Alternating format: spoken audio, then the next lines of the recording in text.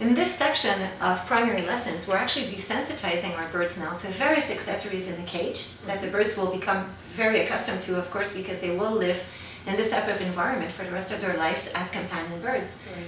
One of the most important we find for the health benefit is definitely to desensitize our birds and teach them how to drink from water bottles at a very young age. Right. Water bottles are very important, as you were mentioning, for health. Yes. They're a lot more hygienic than dishes.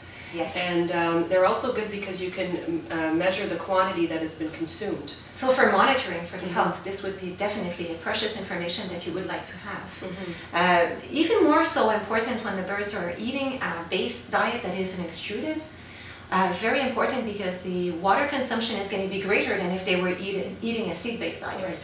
And when they are young and they are weaning process, it's something that in the past we weren't paying as much attention to, but now we know that the weaning success will be dependent as well on how fast the bird is learning to drink.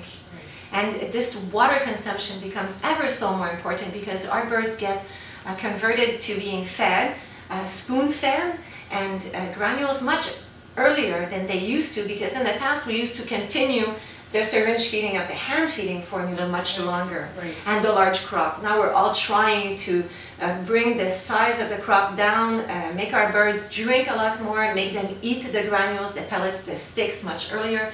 And so making sure that the birds eat, uh, drink actually a lot of water is very, very important. Right you had mentioned the importance of them learning to drink, and that that is extremely important because you can't just give them a water bottle and expect that they're going to be able to no, drink from it. definitely not remove the feeding dishes and the water dishes, the water dishes. Uh, when we're not sure that the birds are actually drinking from a water bottle. Right. Uh, important as well is we, we don't recommend that caretakers do this when they leave the home exactly. for a prolonged period of time, whether that is a full day or uh, two days, you know, especially a full day I think is fine if you rely on a water bottle and it's okay.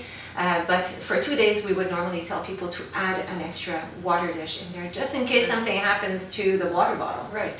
And of course, uh, normal maintenance, you would want to be changing the water every day. Yes. Uh, you would want to be disinfecting it at least once a week. Definitely. And uh, you'd have to make sure that there's no food trapped in the spout to make exactly. sure that they have access to the water at all Exactly. Times. We, we uh, talked a little bit that we were going to explain how we actually train our birds to uh, drink from this water bottle, just like everything else. It's got to be fun.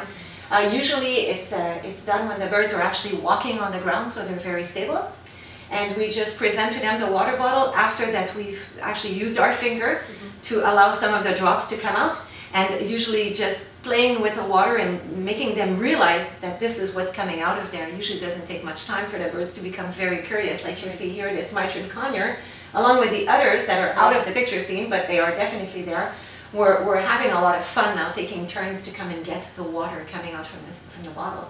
That's right. Yeah, we did mention the importance of having having two birds and how they can learn from each other. It's very important. Yes. Now, we've mentioned the importance of having our birds uh, learn to drink from a bottle, but there's always those special birds that really like, especially se several species really enjoy dipping their food into the water dish, mm -hmm. and mm-hmm. and that's okay, and it is especially okay if the birds never have access to any soft food as enrichment food.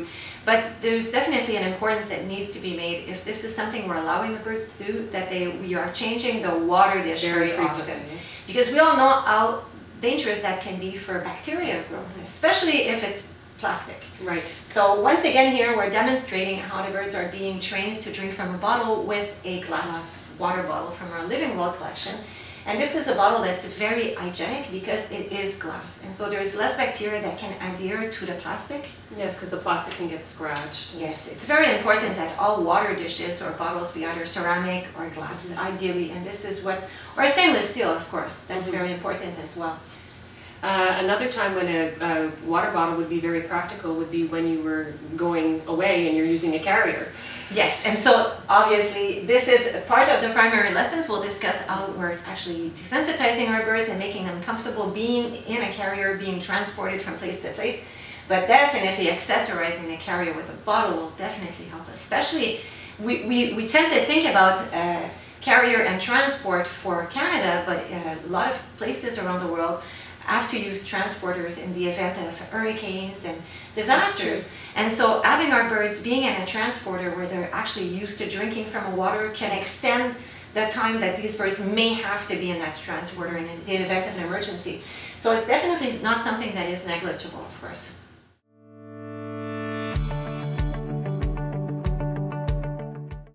So as we're speaking about desensitizing birds to uh, different accessories, uh, we're going to continue this conversation right now with speaking about desensitizing them to various types of perches, which might seem you know, a little obvious, but it's it not. isn't. It's actually quite a little bit more complex than we originally thought it was. Right. Uh, very important when the birds are young, the first perch that they're usually desensitized to are the uh, rope perches. Right. And this is done in the early parrot education in the first stage, where the birds are actually um, offered this perch on the bottom of their chick pen. Right. Um, throughout the progression of the stages where they develop more dexterity and assurance, then we're going to be elevating this perch to a higher level. Correct. Uh, very important that when they're young, they can actually bite on the perch to move along because they're not that confident with just their nails. And so it's very important that they can bite. And so this is why uh, offering a Java or Manzanita perch, which is really good because it offers different sizes for their feet, so it's beneficial to their feet and prevents uh, their feet to develop arthritis because they're getting uh, vari variants. Um, it is not a good idea to offer these perches to young fledglings because they have difficulty biting them And they're very slippery. and they're very slippery as well. So this would be a perch that we would offer in the final stages, Right. for sure. When they're, of course, have been on natural perches, either safe maple or apple branches, which will also stimulate the chewing. the chewing, which is important because we don't want our birds to be born. We want them to chew, and we want them to learn how to do this at a very, very young age. Uh, plastic perches as well we use often because Exactly. these are important to put uh, in a very strategic place. Yes, we would put them near soft foods. Yes.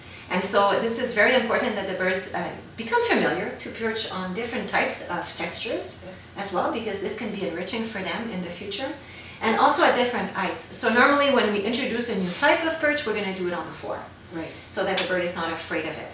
Very important as well is that the bird learns how to perch and step up on a very stable perch. So either the bird learns how to step up on someone's hand, but it's also a very, very good um, gift that you can do to a bird to allow him to step up on a perch. Perhaps in the future there might be an emergency situation where the caretaker is not home Exactly. and somebody else has to get the bird out of the cage. And they're not comfortable handling them, so a perch is ideal. Now, very important as well, when the birds are young, the perches are always stable. Mm-hmm. But as they become older and more confident, then the perches can swing a little and Exactly like they would in the wild. very important as well. Although the grooming utility perch, such as this abrasive perch that we see here, is not ever used at HARI, we still need to discuss why we don't use it with our fledgling birds. Well, one of the reasons why we don't use it is that we don't groom the uh, nails uh, at a young age anyway, so they don't require it to keep themselves secure and steady on Yes. the perch. Actually, a lot of uh, manufacturers uh, fabricated this perch because with the intention that it would actually groom the nails, and so the caretakers would not have to get that done. Right. But birds actually favor them even more so when the nails are excessively groomed. Right. And so this is a, a reason why, unfortunately, numerous breeders are still using them because the birds love them. They use them, and then often caretakers as well. Uh, and we definitely feel that this can cause uh, a health hazard and concern for our birds, especially for the future of their birds' he- feet health. It can lead to severe pododermatitis Right. At a very young age, and we feel it's definitely too abrasive. Right. And as our fledglings get older, we do desensitize them to nail grooming. Yes. So we would not need this to have their nails No, shorter. and they're going to be uh, perched on a cotton perches at first, so they're going to be quite secure. Mhm. And further to that, they will be perched on natural branches, Right. which will also contribute to a little bit of the natural abras- abrasion of the nails. And then, as you mentioned before, we're going to be desensitizing them to the nail file, to uh, The the, uh, rotary tool. rotary tool. And so there is no real purpose why a fledgling would need this to feel securely perched at whatever age within the first year of life. I, I seriously don't believe that this is an essential tool to be added as an accessory to the cage. Right. There are other issues with this perch as well. One is that it's very unhygienic. Yes, So if you were to be putting it near, especially for a fledgling, when you're going to be giving soaked weaning granules, hand feeding formula. Not a great idea.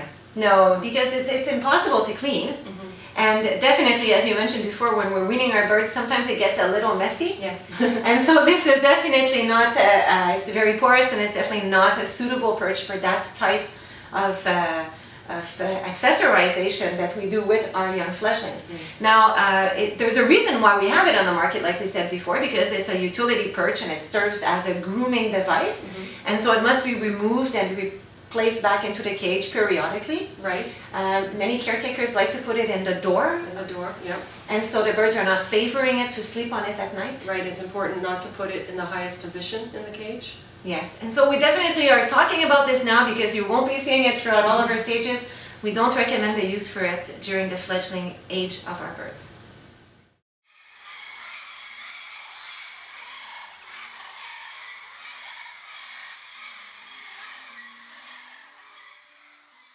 Another important primary lesson would be visual enrichment. And uh, this is an interesting slide that we have up here. This is actu- an actual slide that we would have in our comprehensive guide. Yes, So it has the stage, it has the primary lesson listed, and um, and of course what we're trying to do here, which Exactly. is visual enrichment. Um, it- people take it for granted that birds have learned how to look at televisions, or we don't even often question whether they have learned to listen to the radio. right, but not because they're listening to it that they're actually having an appreciative value to what they're looking at or to what they're listening to.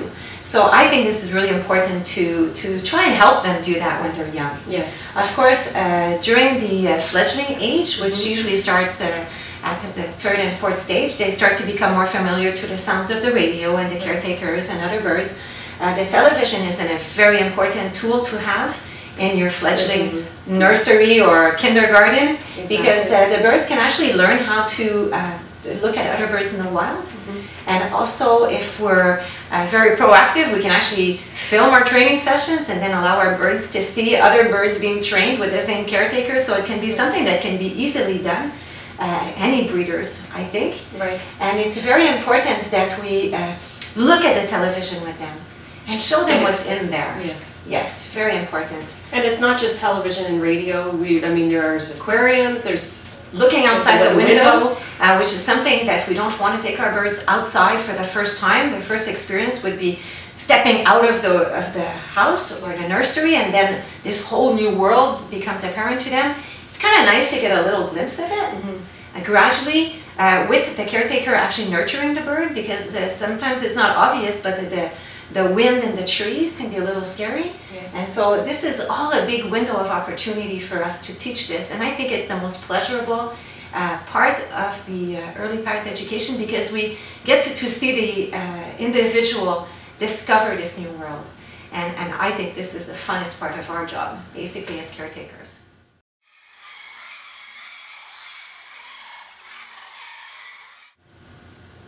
Discussing primary lessons cannot go without discussing discipline. And this is something that is very important in order for us to achieve all the other primary lessons, but also for the bird to achieve a companion life that will be favorable. Um, everyone has discipline in their home, and the birds must learn how this works because they are not born with this discipline. We need to be flock mentors and show them how this works.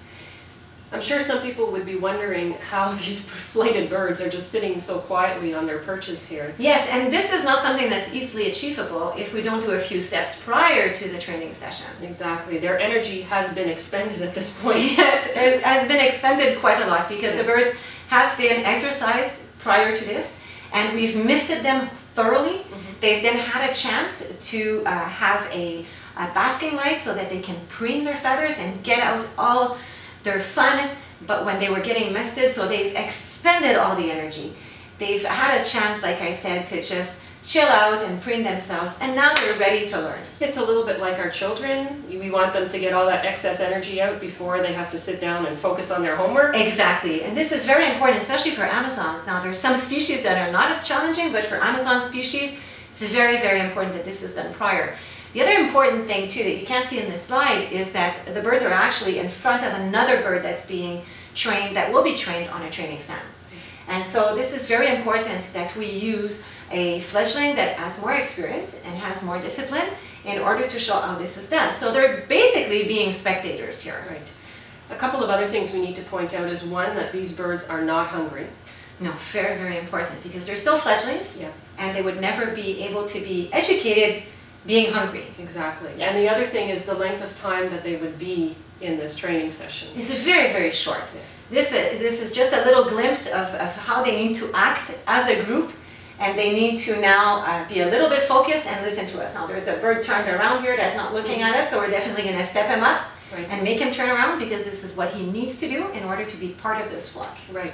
Extremely important as well is that they are always supervised. Very important as well that they're supervised, they're still flight, flight feathered at this point. Uh, most of these birds uh, could get themselves into trouble, especially if you don't have a very secure room.